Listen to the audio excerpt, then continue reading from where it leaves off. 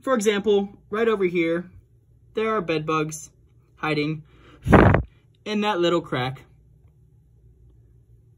So those are bed bugs, everybody. The big ones are the adults. The little ones are the children.